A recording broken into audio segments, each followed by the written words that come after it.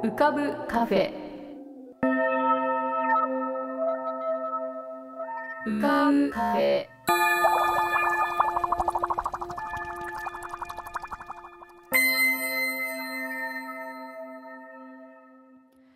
2021年2月26日。こんばんは。ようこそ浮かぶカフェシーズン3へ。カフェ店主の幸代です。浮かぶカフェでは月みたいにぽっかり面影みたいにぼんやり飛行船みたいにゆったりアイデアみたいにパーッといろんなものが浮かぶことになっております。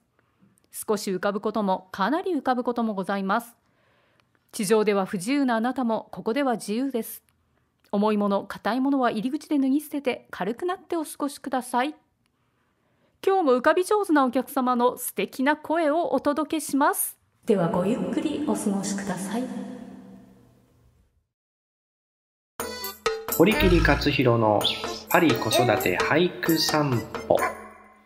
皆さんどうもこんにちは、えー、先週お伝えした通りフランスはただいま冬休みでございまして、えー来週から通常の生活に戻る予定でございます。本当に最近暖かくて17度とか18度とかになってますからなんかもう4月とか5月ぐらいの感じですね。フランスっていうかパリ的にはね。えー2月もそんなことをしている間に、あとちょっとということになってしまいましたが、本日はですね、えー子供の学校の給食についてちょっとお話をしたいと思うんですけども、皆さんね、フランスの給食ってどんなイメージでしょうかね？僕が一番驚いたのは、毎日チーズが出るっていうことですね。これはなんかね、チーズ好きの僕としては非常に羨ましいですね、えーこんなちっちゃい時から美味しいチーズ食べられるっていうのはフランスの方はねあの当たり前なんでしょうけどあの僕からするとすごく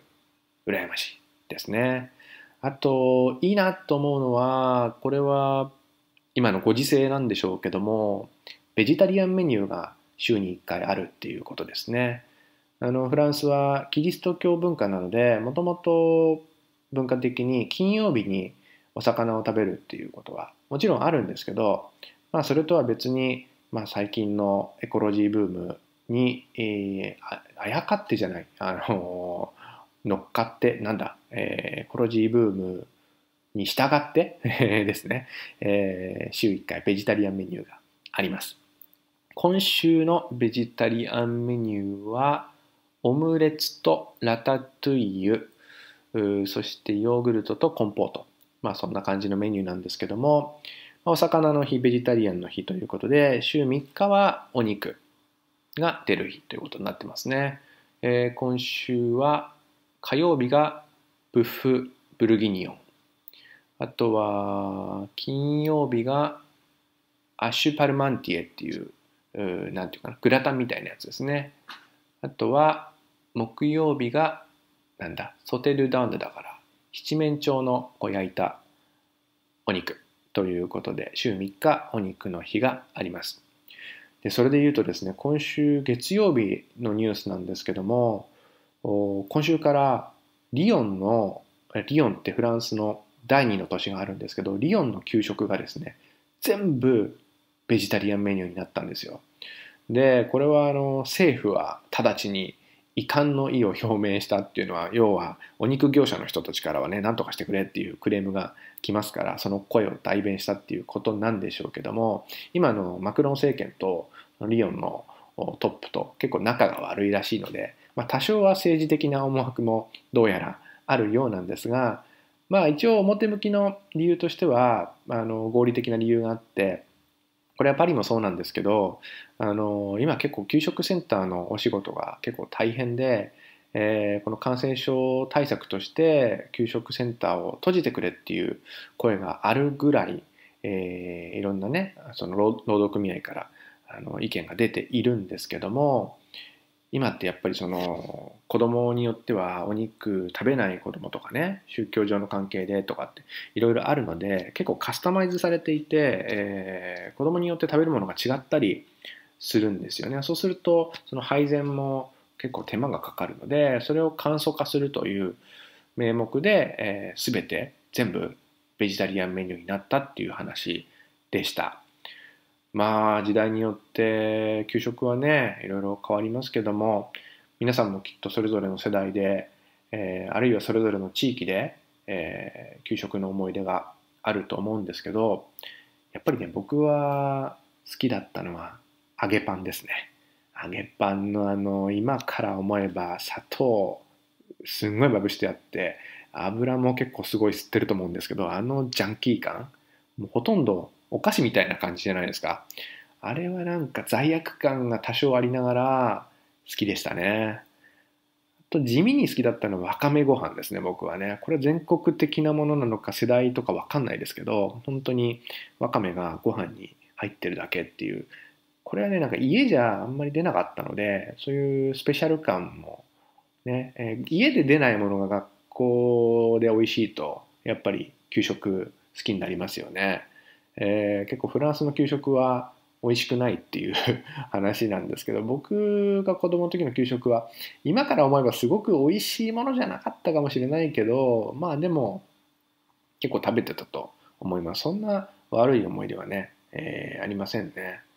えー、あとはやっぱりその郷土料理っていうか僕覚えてるのは僕福島県の福島市っていう県の真ん中辺出身なんですけど、え、隣の会津地方の小津湯っていうのがそういう伝統料理フェア郷土料理フェアみたいので、えー、出たことがあって何て言うのかな福島県も広いですからいろいろそういうねあの地域に根ざした食べ物があるんだっていうなんかその特集を異様にはっきり覚えていて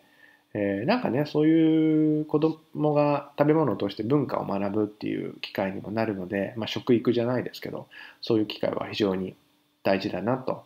思います。はい、皆さんはどんな給食の思い出がありますでしょうか、えー、それでは今日は2月も終わりということで2月人2月が尽きると書いて2月人という記号があるのでその俳句を最後にご紹介したいと思います。えー、まず1句目はこんな句でございますね。古書市に紛れて無口2月人。古書市に紛れて無口2月人。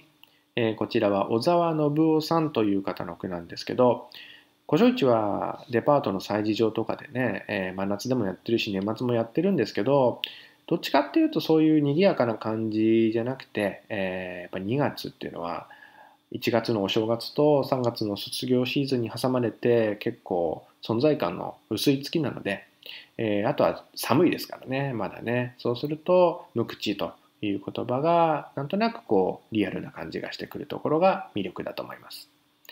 えー、もう一句はこんな句を持ってきました。天空に未生の星や2月人。天空に未生の星や2月人。こちらは福田陽子さんという方の句なんですけども天空つまり空に未生の星まだ生まれてない星がある。そんな2月の終わりということなんですが、えー、星は生まれては消えていくものなんですけどもこれはまだ生まれてない星に注目をしている。まあよくよく考えてみれば1年が始まっていろんな目標とかを立ててそれがねまだ2月だと当然達成はされていないのでえー、まだこう続いていく時間みたいなものがこの句には重ねられているのかなと思います。えー、そんなわけで僕も最後に2月人の句を作ってみました。2月人、分厚き闇に包まれて、2月人、分厚き闇に包まれて、堀切勝弘。えー、今窓の外に分厚き闇が見えてるんですけどもうちょっとねあったかくなってくると特に日本ではおぼろもうちょっとこうぼんやりした春の夜になってくるんでしょうけれどもまだ冬から抜けきれてないような夜でございます。はい。皆さんも良き2月人をお過ごしください。それではまたお会いしましょう。さようなら。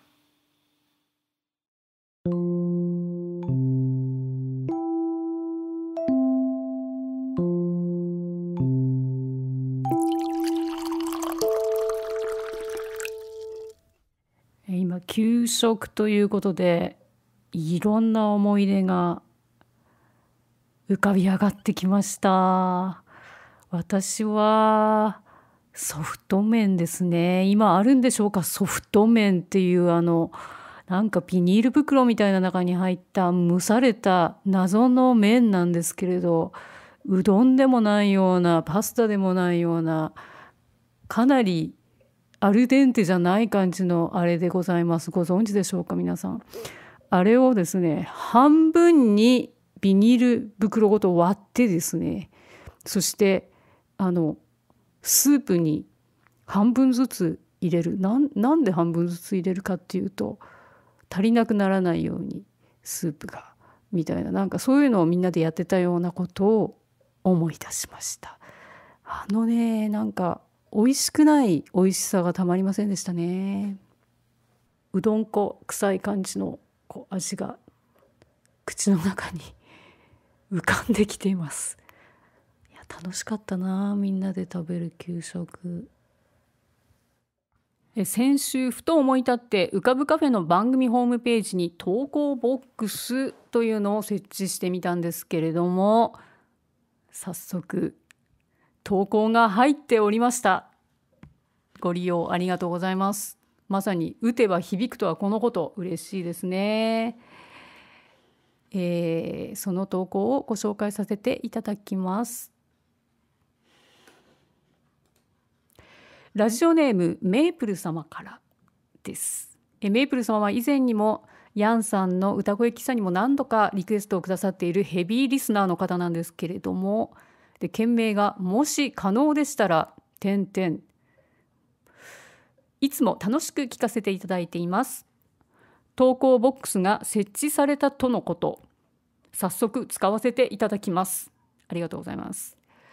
タイトルのようにもし可能でしたらよりカフェ感を出すようにかっこカウンター越しにかっこ閉じ時々店主さんと常連さんとの2人だけのミニ対談をお聞きしたいと思っています。時差他で大変でしょうが個性あふれる常連さんと個々にお話しすることで面白い何かが生まれるのではと期待しています。勝手な思いつきですので難しいようでしたらさらっと流してくださいませ。今後も毎週楽しみにしております。ありがとうございます。お風邪などひかないようお過ごしください。メーブルさんもお気をつけて。梅の花も咲き出しようやく春めいてきたカナダのある町よりというお便りです。常連さんと私だけの2人のミニ対談。はい。いつかやってみたいと思います。うん。いつになるかはまだ約束できないんですけれどいいアイデアですね。はい、えー、なんか楽しそうです。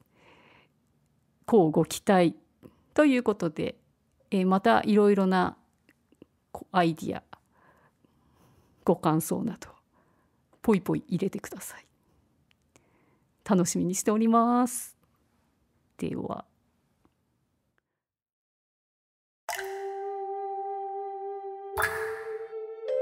桐竹門富こと富さんのぷかぷか温泉独り言。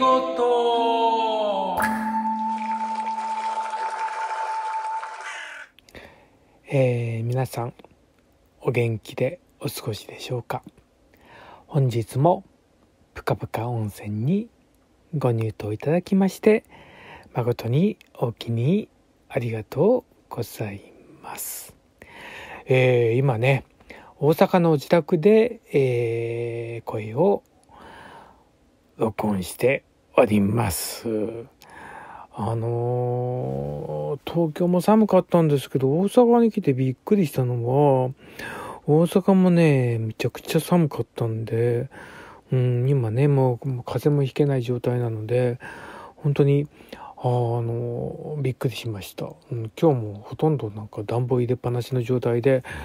一日過ごしていたような日でした。はい。で、あのー、東京公演無事に終わって、えっ、ー、と、その後に京都でドームシアターで、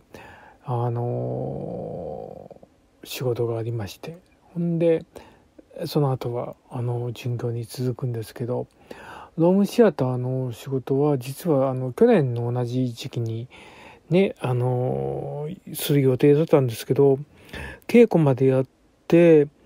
えー、翌日の時に夜にメールが来て中止となりました。ですから本当に1年経ってあのー、再開っていうかできることを本当にありがたいなって思っております。はい。あのー、今回ね東京で寺井平っていうねあの久しぶりの立役を使ったんですけどあの僕はね本当に女方が多いんですよね。だから久しぶりの立役でした。はい。だからとても新鮮だったんですけど。でこれもねよくお客さんに聞かれるんですけどあの、最初からね女方とか立ち役とか決まってるんですか？とか言われるんですけどあの、実はね決まっておりません。はい。あのとりあえずとりあえずじゃないわ。あのどっちもね基本的には使えなくちゃダメなんですよ。だから立ち役もできなくちゃいけない。女方もできなくちゃいけない。でも最終的にはあの別れることが多いです。うん。あの、やっぱり持って生まれたものもあるし、向き不向きもあるし、まあ、その辺は何とも言えないんですけど、うん、やっぱりこう、見てくれもあるし、うん、でもまあ、あの、僕らは人形を通して使うので、自分が直接演じるわけではないし間接的なのでその辺はあのあのまあ立役も女方もどっちもね使っても問題ないかなとは思うんですけどあの今回もね寺井兵を使ってて舞台稽古とこ終わったらね周りから言われるわけですよ「富さん似合わへんな」って。まあねしゃあないですよね。ずっと女方が続いてたんで。でもまあ僕なりにちょっと考えてねやったんですけどやっぱりちょっと周りからすると違和感があったんでしょうね。でもねなんとか払拭したくてあの自分なりのねあの異変ができたらいいなと思って。でもやっぱりあの毎日ねこう舞台に立つとあのなんか自分なりのものがこうだんだんだんだん出来上がってくるんですよね。うん、最初はこう手探りだった状態があの本当にこうどう言ったらいいんだろうちょっと形ができてくるっていうのが、うん、あの不思議な体験でした。であの立ち上げというととても思い出すのはねまあ今だとね絶対つかないと思うんですけどもう本当にねもう10年ぐらい前かな絵本対抗期の10段目ねのあの十字路が6月の鑑賞教室で学生向けの時についたんですよ。でそれってもうバリバリの立ち役の人が使う役なんですけどそれをねついてしまったんです。しかも大抜擢みたいな感じでまああの交代交代では使うんですけどでももうね本当にどうしようかなとか思ったんですけど人形も鎧人形って言ってすんごい重たいし、まあ、最初の袴の人形も重たいんですけどでもあの、うん。力も入りすぎてもう最初の袴の人形で出てきた時にもう腕がもうやられてしまってあの持てないっていうか重さに耐えきれない状態まで行ってその後鎧の人形に移るんですけどもうどうどうなどうやって使ったのかなって今でもちょっとこう思い起こしても不思議なんですけどただやっぱりどう言ったらいいんだろうな。あのその時の自分にしかできないことみたいなことを考えてやってた気がします。だからあの気力っていうかそれで押し切った感じがあるんですけどあのまあ後々の話なんですけど、まあ、照明さんが行ってあの照明さんの女の子がいたんですけどその子がバーッと話す機会があった時に「あの私富さんの十字路すごくあの良かったと思います」って言われた時に「え？っ?」とか思ったんですけど、まあ、パワーで押し切ったからそのパワーにね押されて良かったのかなとか思ったんですけどでもまあパワーも大事なのかなとか思いましたその既読とで押し切るっていうか、うん、技量はないけどあのそれでこう突き進むっていうのもねあのありかなってその時は思いましたね。まあめったに立ち役つかないんですけどあのやっぱり使うととても面白いので、うん、今後も機会があったら頑張って使っていきたいなと思っております。はい。まあ、あの、ね、あの本の話もしたかったんですけど、本の話をするとね、長くなってしまうので、今日はこの辺で終わりたいと思います。じゃあ皆さんね、引き続きね、あの、気をつけてお過ごしくださいませ。じゃあ次回に。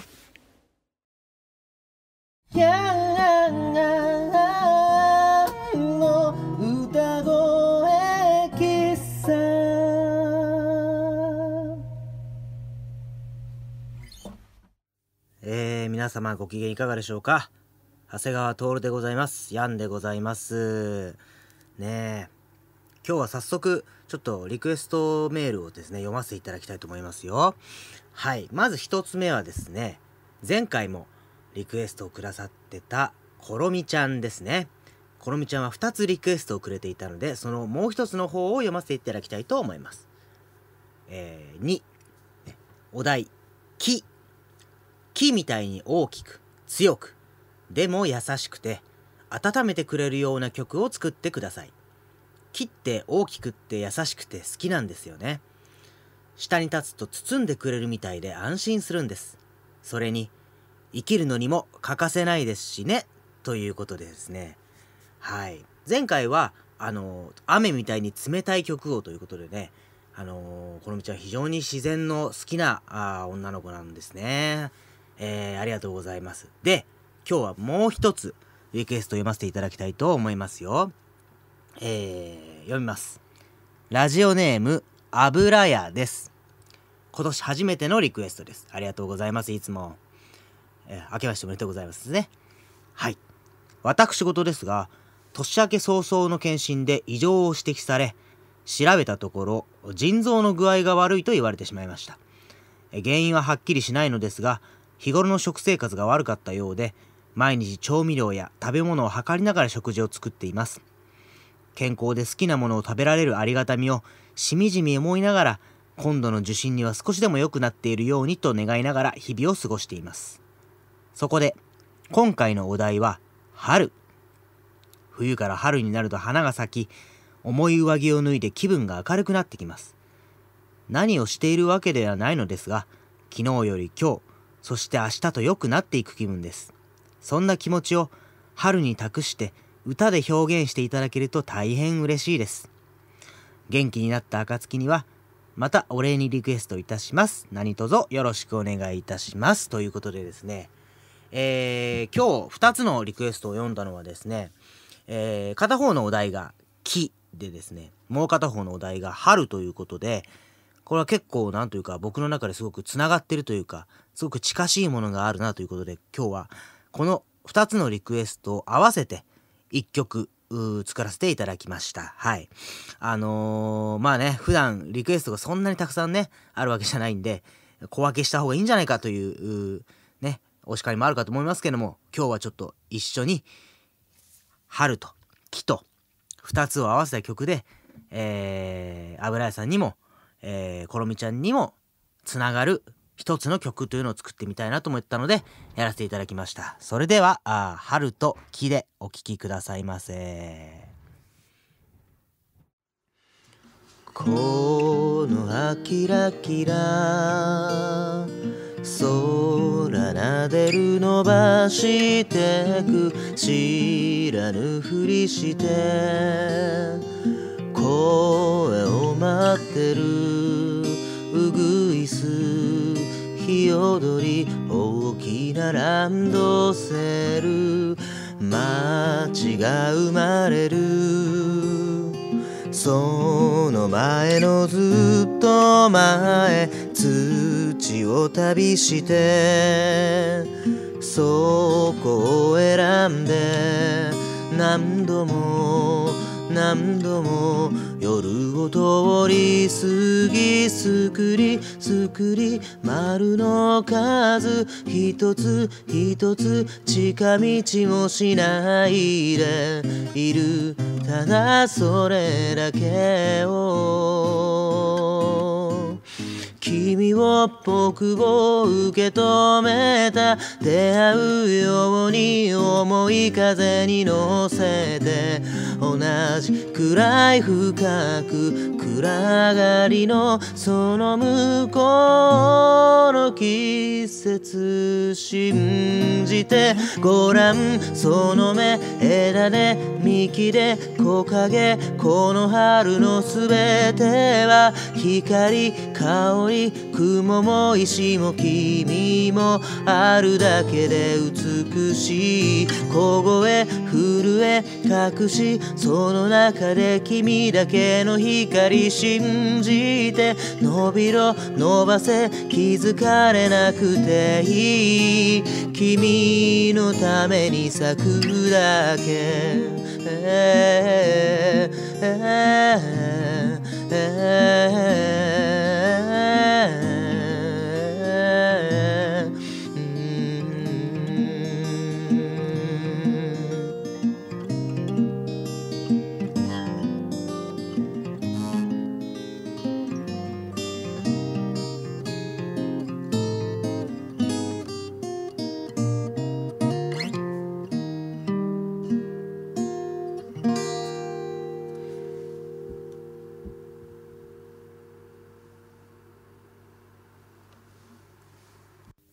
はい、ありがとうございました。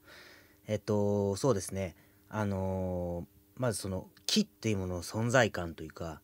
ただそこにいるっていうことだけで十分素晴らしいっていう感じを持ちつつも、実は、その、何にもしてないようで、実はこう、少しずつ少しずつこう、あのー力、栄養を蓄えて、変わらないようで実はずっとずっと伸び続けてこう小さな小さな努力を積み重ねてそこに立ち続けてるっていう部分もあると思ってでそうですね。あ、まあ、とにかく油屋さんはですねとのぜひ元気になって戻ってきてまたリクエストをしていただきたいなと思うんですけれどもあのまずその人はそのものはそこにあるものっていうのはそれだけで十分素晴らしいっていうあのこととあとはそんな中でも、まあ、木とか、まあ、春を迎えるっていうことはその見えないような努力とかそのそういったものを積み重ねてこう立つっていうことはただ何もしないでいるっていうんじゃなくてその場にこう伸び続けることで立ってるみたいなことがすごく美しいなと思ったのでそんな感じをちょっと歌にしてみました。あのーその立ち続けるその姿だけで美しいみたいなのは結構ダンス的な考え方だなと思うのでなんかそういった部分が皆さんにちょっとでもなんかいい感じに伝わってたらなと思っております。はい。最近は暖かくなってきたりもしてますしね。もうすっかり春来てるんじゃないかと思うんですけど実はまだ2月というねこれから寒くなったりこう三寒四温と言いますけれども暑くなったり気温の変化もたくさんあると思うんですけれどもぜひ気をつけてあのー美しい春をみんなで 迎えたいと思います。いろんな意味でね。いろんな春がありますよ今は。はい。いろんな春をみんなで元気に迎えましょう。はい。えー、ころみちゃん油屋さんありがとうございました。はい。ではえー、引き引き続き引き続き引き続きねリクエストをお待ちしておりますのであのーぜひぜひ変わり種のリクエストでも何でも構いません。ぜひよろしくお願いいたします。はい。ではまた次回お会いいたしましょう。それまで皆様お元気で。長谷川徹でした。ヤンでした。今日のリクエストのころみちゃんからの手紙は番組ホームページの中の掲示板に掲示してありますのでどうぞ皆様ご覧になってください。ヤンさんへのリクエストは、うかぶカフェ at gmail.com、ukabucafe at gmail.com まで、ラジオネームを添えて、歌ってほしい言葉や文、その他、ヤンさんが思わず踊り出すような楽しいお題もお待ちしております。また、ヤンさんへのリクエストや番組へのご感想は、番組ホームページに設置いたしました投稿ボックスからもできるようになっております。ぜひお気軽に、ポイッと何か放り込んでみてください。ゴミは入れちゃダメよ。それでは浮かぶカフェ。また次回のご来店をお待ちしております。